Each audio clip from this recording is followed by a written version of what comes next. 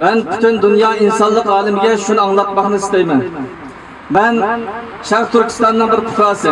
Sharq Turkistonda bir oilasida cho'g'ilgan ham tijorat bilan shug'ullanib kelgan. Mening ismim Adil Abdurahim. Ben Türkiye'ye 2013 yılı 7. ayının 13. günü çıktım. Aslida haramga berib haji qilishni maqsad qilib chiqqan shu sababdan chet elga o'g'ling chiqib ketdi deganni bahona e, ota onamni ayol bolalarimni hozirgacha ko'rolmadim ularni lagerga kirib ketganlik to'g'riliq xabarni angladim 2017 yildan tortib hozirgacha hech bir aloqa munosabatlarim bo'lmadi. Ularni ko'rolmadim Benim adım Adılcan Abdurrahim. Ben 2013 senesinde Türkiye'ye geldim. Ben bir ticari iş adamı ailesinden dünyaya geldim. Ve 2013 senesinde Türkiye'ye gelmemin amacı buradan hacca gidip Saudi Arabistan'a hacca gidip ondan sonra geri dönmekti. Fakat benim yurt dışına çıkmamla beraber benim ailemden babamı ve akrabalarımı tutukladılar, toplama kampları aldılar ve onların şu an hiçbir şekilde haberini alamıyorum.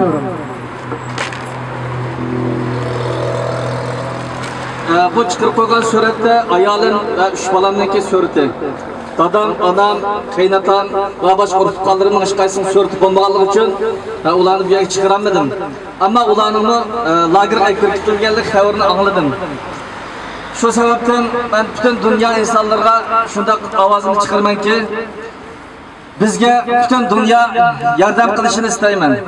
Butun dunyodan yordam istayman butun dunyodan uyg'ur millatiga yordam qilishinglarni istayman jumladan turkiya hukumatining bu e, dindoshlar so'ydoshlar millatdoshlar qarindoshlik yuzasidan uyg'urlarga ovozsiz qolmasligini uyg'urlar uchun yordam qilishni istayman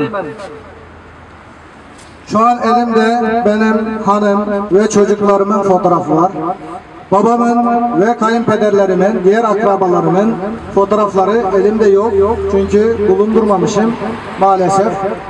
Ve fakat onların da toplama kampına alındığını e, öğrendim. Ve buradan ben tüm dünyanın bize ses vermelisini ve Türkiye Devleti'nin de kardeşlik adına, soydaşlık adına, Müslümanlık adına ve milliyetçi aynı milletten, aynı ırktan gelmemiz adına bize ses vermesini istiyorum.